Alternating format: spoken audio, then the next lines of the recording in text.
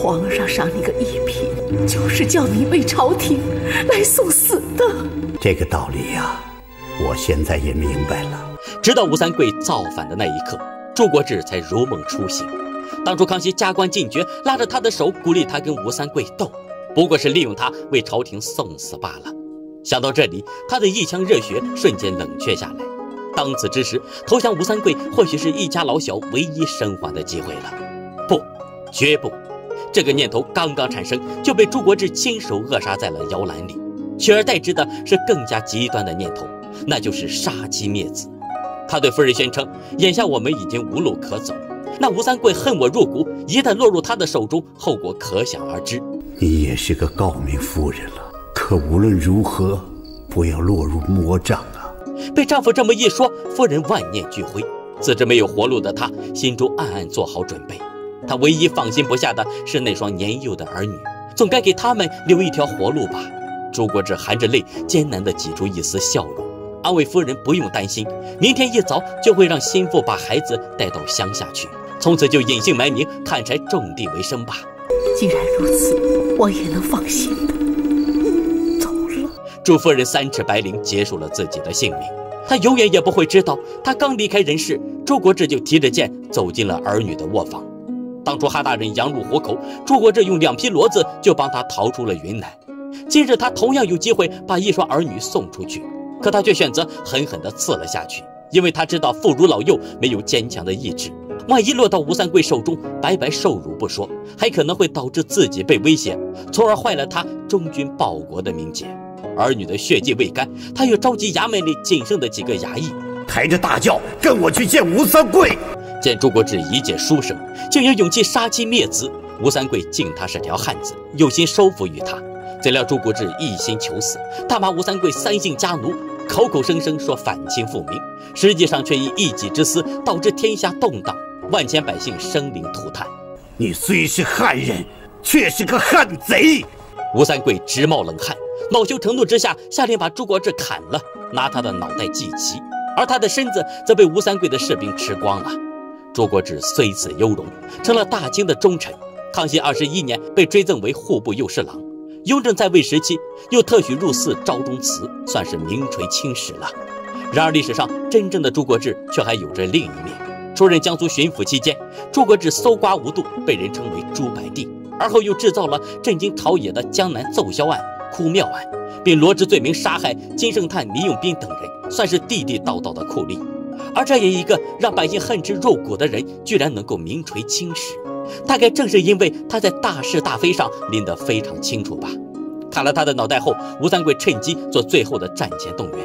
耿精忠、尚可喜与他遥相呼应，声势浩大的三藩之乱就此拉开了帷幕。就在吴三桂的大军一路上势如破竹时，皇宫之中却异常安静。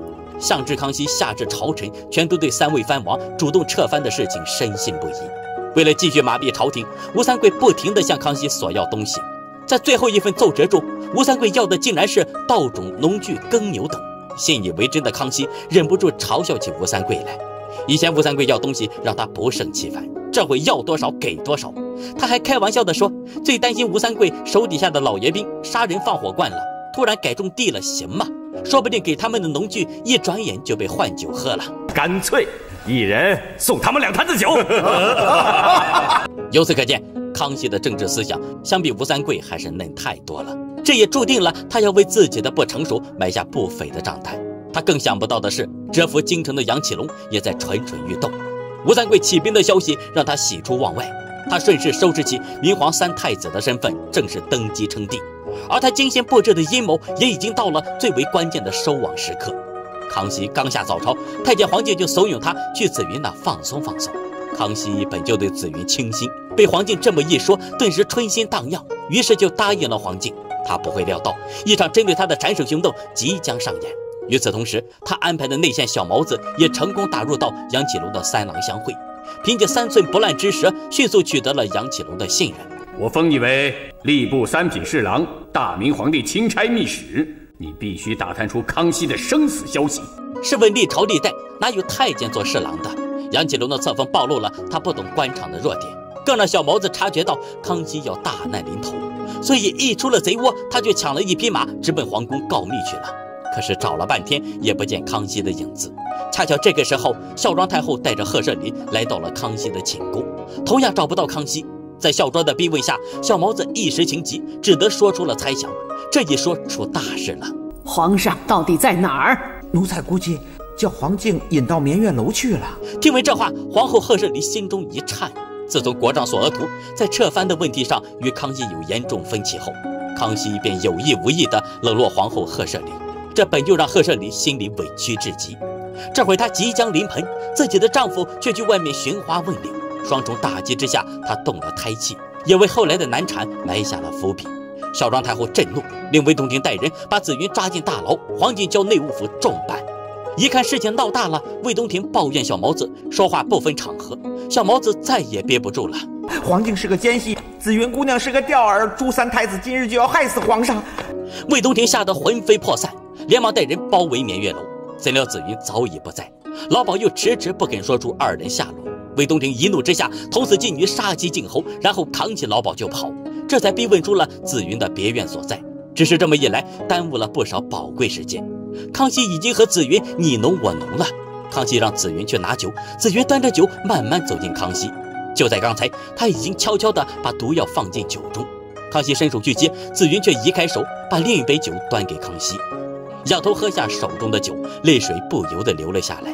皇上，紫云想靠着皇上睡一会儿。不多久，魏东亭终于找来了。推开门，大喊：“她是朱三太子的妹妹，她是来害皇上的！”胡说八道！康熙扶起紫云的头，发现她已经毒发身亡了，这才明白魏东亭所言非虚。可怜紫云生不逢时，面对哥哥的复仇要求和康熙对她的青睐，左右为难的紫云只能以身殉情。脱困后的康熙将计就计，让小毛子带走自己的玉玺，就说是从尸体上找来的，以此蒙蔽杨启龙。就在他准备将杨启龙一网打尽时，小毛子却告诉他：“那吴三桂今日举兵反清了，不可能，这是妖言惑众，撞声势。”直到哈大人成功逃回京城，康熙才后悔莫及。各位看官老爷们，拜托帮忙点赞转发。